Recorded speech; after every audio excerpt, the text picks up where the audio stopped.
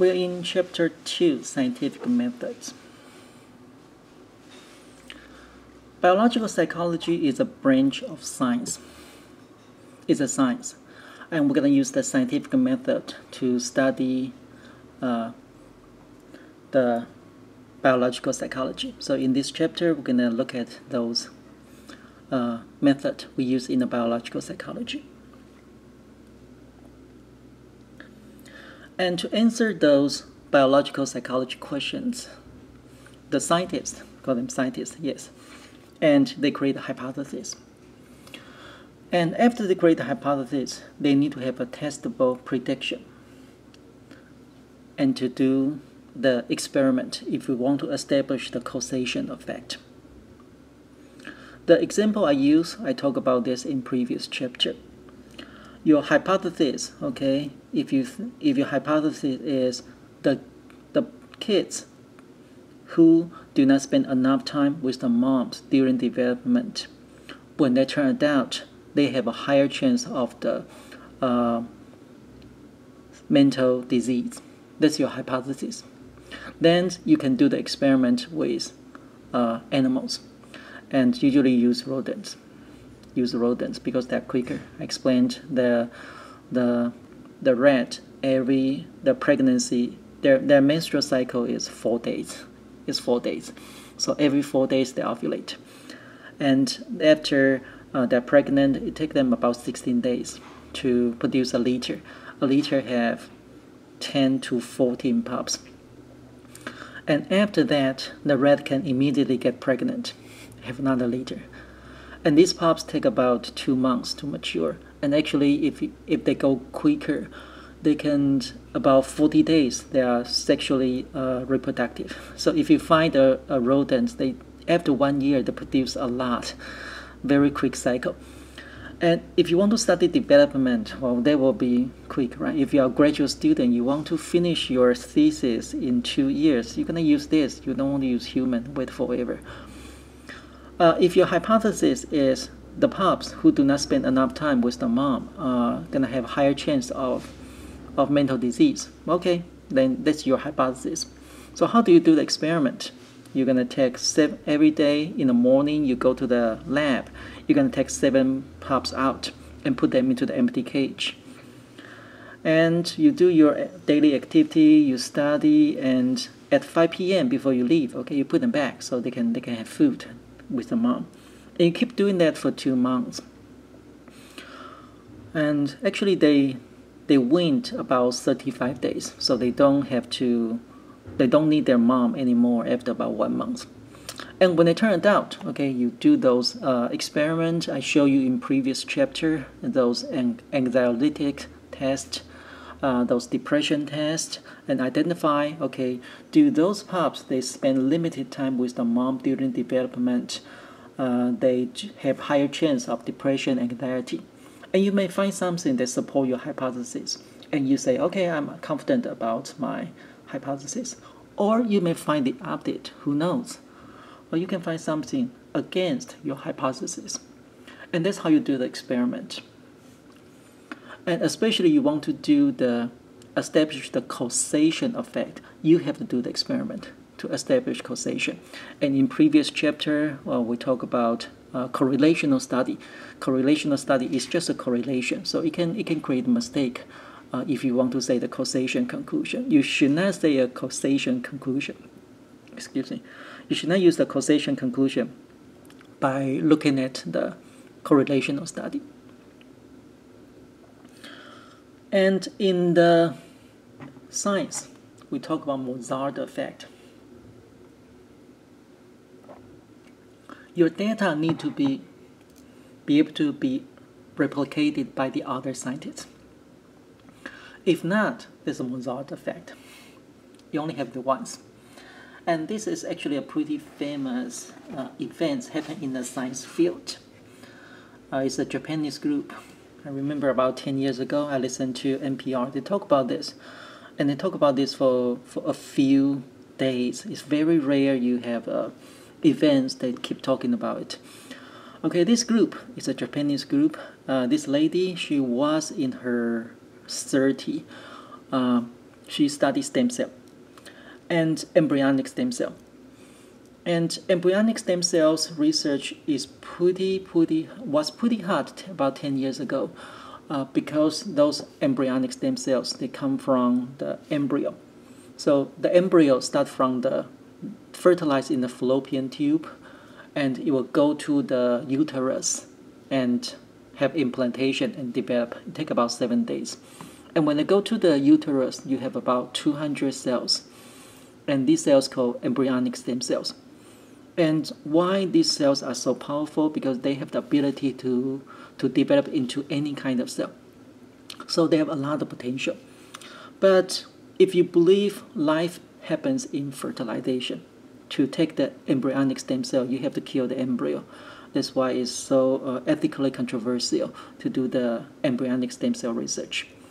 And this group, they claim they are able to turn the skin stem cell. So every organs have their own stem cell. Like you have the skin stem cell, they can develop into the skin cells, different kind of skin cells, like the uh, epithelium tissues on your skin or those uh, those uh, pigment cells. But they can only develop into the skin cell. So we call them skin stem cells. They are able to turn the skin stem cell back into embryonic stem cell. And this is huge finding because you don't have to kill embryo anymore and that's pretty pretty excited in the science field. And NPR talked about this for a few days, and they even claim this lady she was in her 30. One day she will receive Nobel Prize.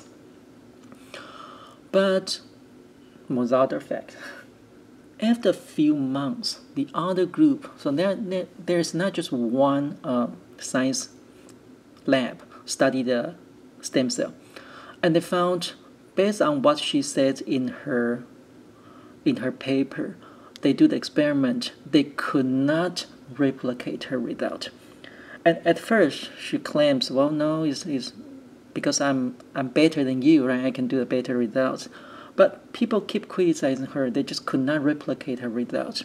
So eventually, she apologized. She said she she make up some data, and she deeply regretted and also that's her mentor uh, he committed suicide.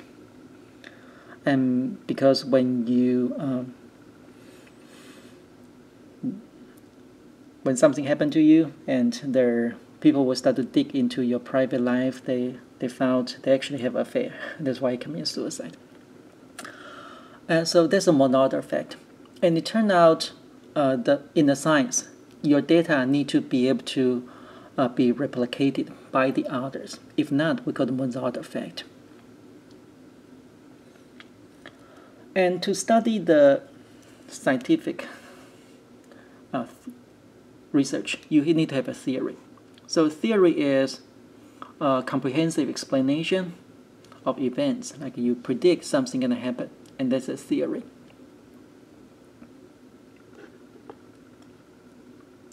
Then you need to have a sample. You need to have a sample. So in the questionnaire study, and you want to give your questionnaire to, you won't be able to give it to the whole world population. So you have to create a sample, and that's the population sample. And this one experiment, uh, they say the girls dress in red looks more attractive. So girls, you can you can go to the party, you can dress in red color, and that's a psychological study. They they just use the Photoshop to to change the shirt uh, color, and they'll give it uh, give the experiment, give the picture to to the to the male, of course, and ask them, okay, well, how attractive this girl look like and compare with this one. They'll give the one to five points. They okay, three and four and turned out they find significant difference. So they, they this experiment they said the girl dressed in red uh, looks more attractive. And apparently you, you could not sample the whole male in the whole world. So you, you can only sample a small population and that's your sample. That's your sample. And this sample well, this sample actually they in psychology they talk a lot of the sample because you can get a they call the biased result by uh, having a a biased sample. So they have different kind of sample. Uh, you can have conventional sample. Uh, convenient, sorry, convenient sample. convenient sample is, uh, say you are in college, okay, and well, you want to do the questionnaire, and probably you will just go to your campus and see who is nice and give them a questionnaire, and this con- convenient sample. But we want to have a representative sample.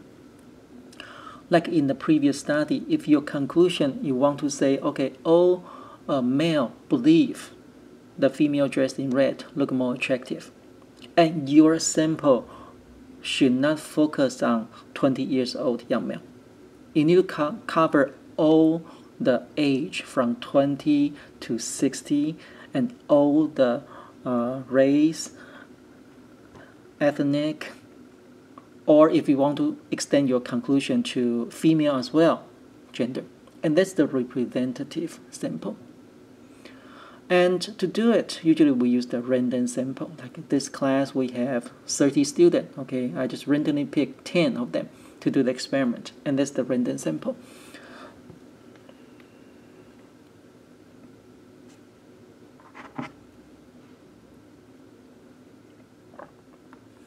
And especially in human study, we want to avoid bias and we want to avoid placebo effect. Sometimes they, they do, do not do it on purpose. We call it placebo effect. Placebo is I give you something. And if you believe it works, it really works. That's placebo effect. Say your your back hurt. And I give you a jelly bean and I won't tell you it's a jelly bean. I'll say this is a magic pill and I'll sell you each one for five dollars. And because I'm a professor, you believe me, okay, you, you buy it and you take it and you say, Well, I really feel I'm getting better. And you're not faking it. You really feel you're getting better. But this medicine have no effect because it's jelly bean. And this reason is because of placebo effect. How it happens? Because it affects your brain. So you gradually know, okay, everything happens in your brain. And if we directly affect your brain, we can affect your perception. And that's why the placebo effect work. And sometimes the, the effect is huge. And that's why in the uh, psychology study or the pharmaceutical company, they want to test a new medicine, they have to use the blind, they use a blind test to avoid placebo effect. And there are a lot of studies about placebo. They will say, okay, they find the the vivid color one works better than the than the white one. So the red one will always work better. You take the red jelly bean, you feel better than you take the white jelly bean. And also the more expensive one works better than the cheaper one. So if I sell you those jelly bean, I sell you each one for five cents, you will say it's a, it's a piece of junk, it won't work, and it really won't work. And if I sell you each one for five dollars, you say that's expensive, it's gonna work, and it really work, because your brain believe. So there are a lot of study about the placebo and they will do the blind experiment. They can do the single blind, the double blind. The single blind is the experimenter know which group they're gonna receive the real, which group gonna receive the, the placebo, and they won't tell the subject the single blind. Double blind is the experimenter and the subject both are blind. So like you, uh, you hire someone to do the experiment experiment for you, experimenter, and those experiment experimenter don't know which group are going to have the real or the placebo. And this called the double blind. And, and they need to do the double blind because sometimes the experimenter unintentionally uh, show something to make the subject know they're going to receive this or this because human face is very complicated. So it turned out uh, in psychology study, especially in human, they have to do the double blind experiment.